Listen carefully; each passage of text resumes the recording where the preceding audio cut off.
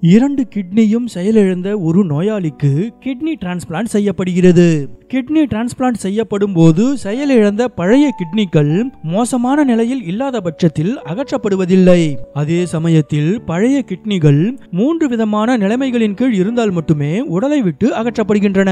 அதாவது பழைய கிட்னிகள் மீண்டும் மீண்டும் தொற்று நோய்களால் பாதிக்கப்படுமேயானால் அது தானம் பெற்று பொருத்தப்பட்ட புதிய கிட்னியிலும் தொற்றக்கூடும். இப்படிப்பட்ட நிலைமையின் போது பழைய கிட்னிகள் நோயாளியின் உடலில் இருந்து அகற்றப்படுகின்றன. அடுத்ததாக செயலிழந்த பழைய கிட்னிகளில் கட்டுப்படுத்த முடியாத அளவுக்கு தொடர் உயர் ரத்த அழுத்தம் இருக்குமேயானால் அது புதிய கிட்னியை பாதிக்க செய்யும். இப்படிப்பட்ட நிலைமையின் போதும் பழைய கிட்னிகள் முற்றிலுமாக அகற்றப்படும். மூன்றாவதாக நோயாளி வெசிகுரேட்டரல் ரீஃப்ளக்ஸ் எனும் நிலையால் அவதிப்படும் போதும் பழைய கிட்னிகள் அகற்றப்படும்.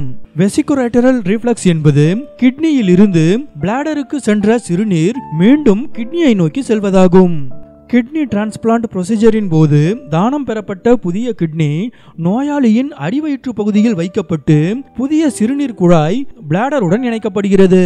பழைய கிட்னிகள் அகற்றப்படாமல் அப்படியே வைக்கப்பட காரணம் கிட்னி ரிமூவல் ப்ரொசீஜர் என்பது ஒரு மிக பெரிய சர்ஜரி ஆகும் இந்த சர்ஜரிக்கு பின்னர் சுமார் எட்டு வாரங்கள் ரெக்கவரி தேவைப்படுகிறது.